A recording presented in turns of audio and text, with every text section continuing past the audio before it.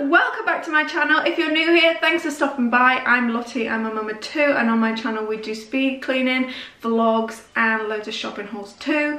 There's loads of other stuff that's coming out soon as well. We're going on holiday this weekend, so make sure you're sticking around to see those vlogs as well. So I thought I'd start a new series on my channel. The last one did so good. It was the forgotten jobs. I'll link it down below so you can catch up if you haven't seen any of them. But today we're going to be doing seven days of clean, which I thought was a brilliant idea because it gets you in the mood, motivated, getting going and maybe you don't want to watch Monday's one but you could catch up on Tuesday and do a bit around your house as well and then you can always look back on it and start over again. So today is Monday and we're going to be doing hoovering, mopping, dusting and polishing. So let's get going.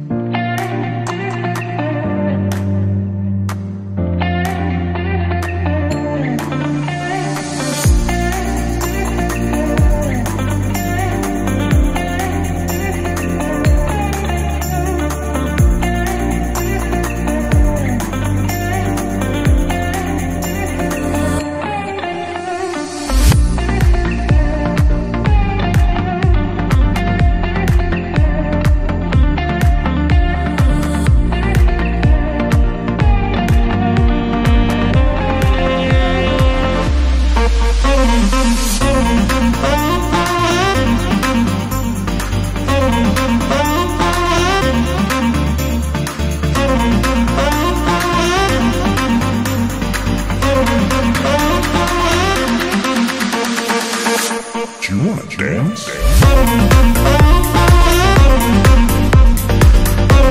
boom.